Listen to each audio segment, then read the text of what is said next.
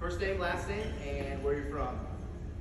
I'm Steve Phillips from Shelby Township, Michigan. My question is, I love the idea of the story, but I have no idea where to put it or what to put it. I'm thinking my Facebook audience go, I don't want to see all this story out. Maybe it's my own mind saying this, but where's the best way to put your story out so you can actually have some traction? That's the best way to put it. That is a great question. Can I ask you a couple questions, Steve? Absolutely. Why are you, well, you're, so you're a realtor? Yes, Do you do mostly residential? Why are you a realtor? The big reason why we lost our home in the market crash last time, and I don't want to go through that again. I've been through it, it's a painful process. That's what started it for us. And are you telling that story anywhere right now? Does that exist? Do you, you know that? Not main, public, mainstream, no. Do you think that that would be a compelling story to someone who has either lost a home in the past or knows someone who has and looking for the person to help them? Yes. So the way that you can tell that story is going to look differently in a lot of different places. As you said, your Facebook bio is going to be very short. Um, what would you say is your purpose statement? Rephrase. Are you, are you, would it be fair to say something like, I want to help you find a home that's going to be yours to love and keep forever? Or something that sort of hits on that idea of you never want somebody else to go through what you went through? Okay, so getting something that short and that concise to say uh, as that like bio is is all you need to do in something like your Instagram bio or your Facebook bio. And then when people go to the About You section of your website, or they go to the About You of Facebook, or they click to watch a video that you have, that's when you can get deeper into your story. And you can say, you know, hey, I'm Steve, and I wasn't always in real estate. In fact, I got into real estate 10 years ago when something unthinkable happened. In 2000, whatever, and that's like when you get into your story, and we say, so there are lots of people who can sell you a house.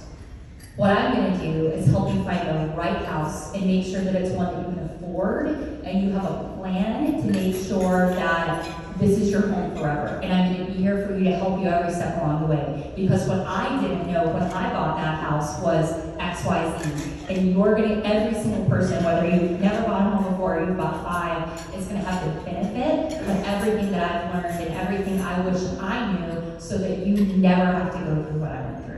Definitely get a bio type section you're talking about. that? Yep, yeah, so that would be in the about you. You could record, you could do that as a video, um, you could do that, um, a- as a bio, like writing the text of the bio. And what you really then get at, uh, is like your purpose, your reason. And if your purpose and your reason, the thing that's driving you is that you want to make sure that people don't buy more house than they can afford, or don't agree to some terms that they're not going to be able to meet if things go south, like that's your differentiator. That's your superpower. And somebody who hasn't been through the things that you've been through and doesn't have that background doesn't have that same superpower. They can't tell that same story.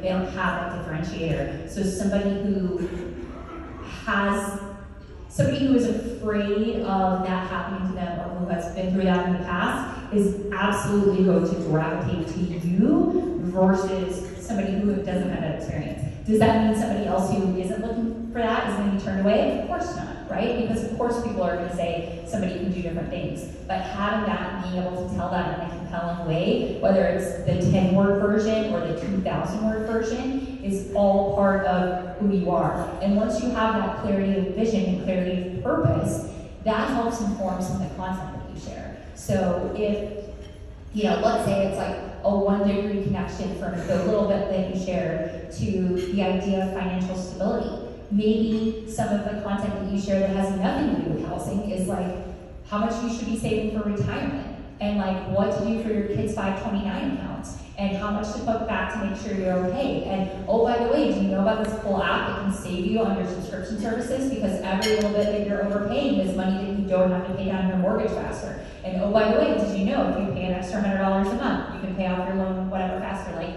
all of those things that maybe on the surface you would be like, that doesn't have anything to do with buying a house. But it does because it's serving that same customer and that same audience and it's giving them a reason still follow you and be engaged with you after they have their house. Because now you know that that same need that they have can be met in a bunch of other ways. Jeff just looked at his watch, I'm sorry, I'll wrap, I'll wrap it up.